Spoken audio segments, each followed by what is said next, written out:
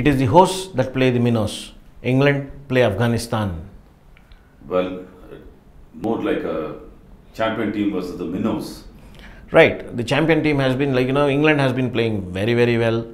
The top order coming. If if Jason Roy is fit, I think he is the first choice opener along with Jonny Bairstow. Looks like Jason Roy is not in, so we have uh, James Vince coming in uh, to partner Jonny Bairstow. Yes. And, And- uh, yeah, Joe Root in phenomenal form. But he's a proper number three. See. Proper number three, and uh, they have a good batting lineup. And The master stroke the other day was bringing in Chris Woakes. Of course, the situation demanded that, but then Chris Woakes was good at top of the order, and then yeah, I think uh, bringing in Chris Woakes uh, while two of their uh, top order batsmen were injured uh, against a low score was fine. But this is a match where if England is batting first, put up a big score, look at upping their uh, net run rate. And this is a match where you know guys like Morgan and uh, people who have not been really getting into the they need some uh, extra batting time. So maybe Morgan will uh, move up the order and then uh, Yeah, Morgan's position is fixed. I think uh, this match is also where uh, Stokes will have a big time. Uh, having said that, uh, we need to talk about the Afghanistan bowling. Right. See, Afghanistan bowling can can be, you know, they've been disciplined, but then they don't know uh, their. Much of it is pedestrian. I haven't seen them so incisive. What happened to that world champion uh, standard of Rashid Khan? Rashid Khan, see, it is like this. You are fixed in a fixed in, a, in an image per se. I would say, you know, you are the world's best T20 player. Your people are rooting for you. This kind of bowling this is this is not known for an Afghanistani bowler. You know that kind of image.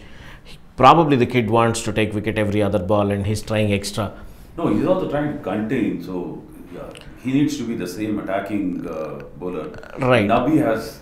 Uh, And on these start. English wickets, on these English wickets, if you are seeing, you have to adjust to the pace very quickly because you, if you are bowling a bit slow, then the ball will sit up. And Precisely what Nabi did in the first match. Nabi got four wickets. He bit, he bowled extremely well. But then after that, uh, see, they also had a washout, and most of them are uh, missing that continuity of match practice. Uh, Right. Hopefully, uh, the Afghanistan bowlers will see, make some it's like this: you just cannot rely on extreme uh, spin of Rashid Khan, Mohammad Nabi, and uh, Mujib. You will also have your pacers come to the party at- some point of time. Zadran has been decent, but uh, is not looking like a wicket-taking bowler.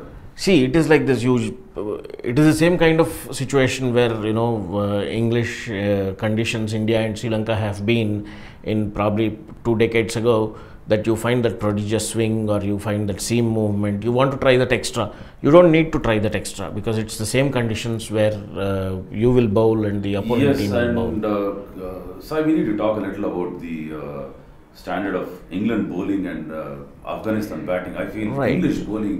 Uh, we've seen that uh, Plunkett, Wood, and Jofra Archer have been phenomenal in this. Jofra. Archer, he does not put an effort into the uh, bowling uh, run up, if you see. But then he's consistently clocking something like 140 plus 145 being the Precisely fastest the ball he's bowled. England is looking like uh, tournament favorites already.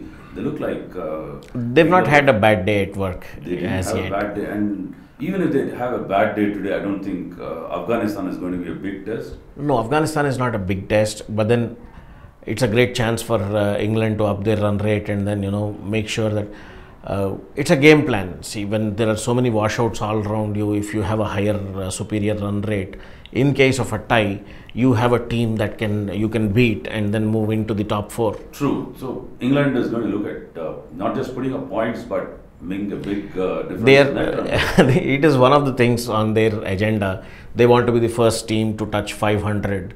If their chance in this World Cup, Today it would be like an opportunity. it would be their opportunity to be the first team to touch that 500 mark in one day so let's wait, let's wait and watch today's match. Looks like uh, Yes, uh, an easy passage for England today. Either you control or you give up is what Afghanistan will try, will do. Precisely.